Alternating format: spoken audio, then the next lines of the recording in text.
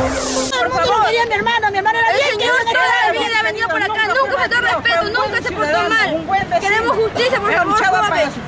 Por favor, que llegue la señor anciano, son dos personas, no es mi mamá en silla de ruedas y su papá o señor un anciano, no se puede valer por sí solo. Por favor, queremos justicia, queremos a. Dice que ya había cruzado la pista y el, el, el chico lo viene paro, pasa lo revuelca, lo mata. Yo no vivo acá, pero ya le dijeron ya. Mientras tanto ustedes van, continúan con este pie de lucha. No sé, yo no sé mi hermana que está haciendo trabajo. Y mi madre, mi padre. No, yo no tengo nada, yo no sé nada. Solamente yo vine cuando ya estaba mi hermano muerto. Ya. Tengo hija, está en la morgue, hasta ahorita no lo traen todavía. Estoy esperando.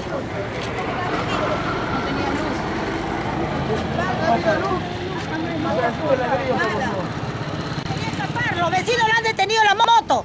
El, es hijo del señor Pecho. Y llegando al hospital mi hermano Señora, está eh, botado ahí. ¿Quién fue el accidente? Ya mi hermano había cruzado la pista, caballero. Ya mi hermano estaba acá en la tierra. La moto ha venido de tanta velocidad, mi hermano todavía Sin luz, esperaba. ¿ha venido? Sin luz. ¿A las 9 de la noche. Mi hermano ha esperado que pase un carro. El carro ha pasado, pero mi la moto porque la moto venía en oscuro. Ha venido, ha venido a tanta velocidad que lo ha aventado mi hermano. Y ha pasado la moto por encima, señor. Y ahí lo, y lo dejó botado, se quería escapar. Los vecinos, ahí están los vecinos. Los vecinos lo han detenido de allá y de acá. Ustedes lo han detenido para que no se dé la fuga. Yo no estaba así, los vecinos cuentan ahí están los vecinos para que no se dé la fuga. Él se iba a ir. Ahora van al hospital, lo dejan ahí por 300 soles que el papá, que ahí está el señor Pecho, él no quiso ni pagar siquiera para que le pase la topografía a mi hermano. Por eso que mi hermano se ha. Ahí está el, el hijo del asesino. Y, ha estado, y ese muchacho, el, el asesino, ha estado suelto. Recién ahorita lo han traído. Porque nosotros le hemos exigido, caballero, que no traigan a ese asesino para acá. Es el sustento de mis dos padres que son ancianos ahí. Mi hermano tenía su trabajo, él es pescador artesanal. Por favor, señores, que se haga justicia. ¿Cuántos años Mi hermano tiene 62 años.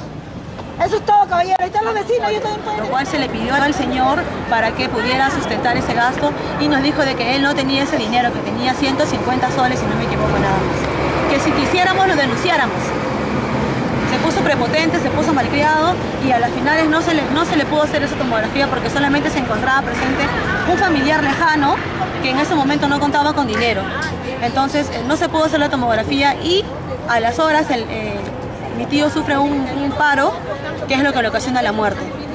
¿no? Él, él ha llegado al, al hospital en un coma clínico, donde estaba totalmente inconsciente, inconsciente total, y ha muerto, ha muerto a las horas con, por, un, este, por un paro. ¿Qué llamado al coronel de la policía, jefe provincial?